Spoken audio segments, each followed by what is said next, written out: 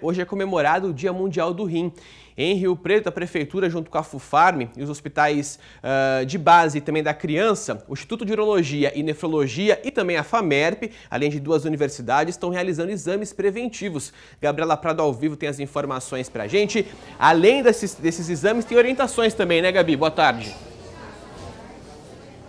Boa tarde, Casa Grande. É isso mesmo e muita gente passando por aqui para pegar essas orientações e exames, viu? Vou mostrar como funciona o procedimento. Tem que fazer um cadastro, depois passa pelo exame de aferir a pressão, também testa a glicemia, a pessoa se pesa e, por fim, faz o exame de urina, que é um dos mais importantes para diagnosticar a doença. Olha só, o seu Antônio acabou de fazer o teste aqui, qual foi o resultado dele? Bom, nós fizemos o teste rápido de urina para verificar a presença de proteína e deram duas cruzes.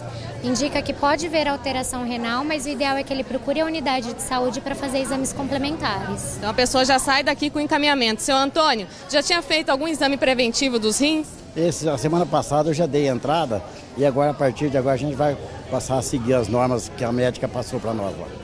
É isso mesmo. Agora eu vou conversar com o doutor Horácio, ele que é nefrologista, que é especialista aí, né, especialidade que cuida dos rins. Doutor Horácio, tem algum sintoma que o pessoal deve ficar atento? A gente vê aqui exames de glicemia e também de aferir a pressão, né? São sintomas da doença? Boa tarde. Boa tarde. A doença renal crônica, ela é praticamente sem sintomas, por isso que nós precisamos ter esses alertas e buscar na população os grupos mais vulneráveis, que são pressão alta, diabetes, obesidade, tabagismo, doenças cardíacas e alguém que já teve doença na família que fez diálise ou transplante.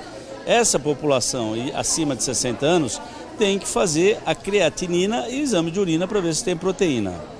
Olha, Casa Grande, além aqui do shopping do hospital de base, né, os exames acontecem em 64 unidades básicas de saúde aqui de Rio Preto até as 3 da tarde. Então dá para assistir o SBT Interior primeira edição, depois correr aí para fazer o exame e ficar em dia com a saúde, viu? Mais um dado para você, 395 pessoas fazem um tratamento aqui no hospital de base de doença renal. Legal, Gabi. Obrigado. Orientações importantes nesse dia uh, mundial aí de, de, combate a doenças do rins, né? É, dia também do rim. É importante a gente falar sobre isso. Obrigado pelas informações. Bom dia para você, um bom trabalho.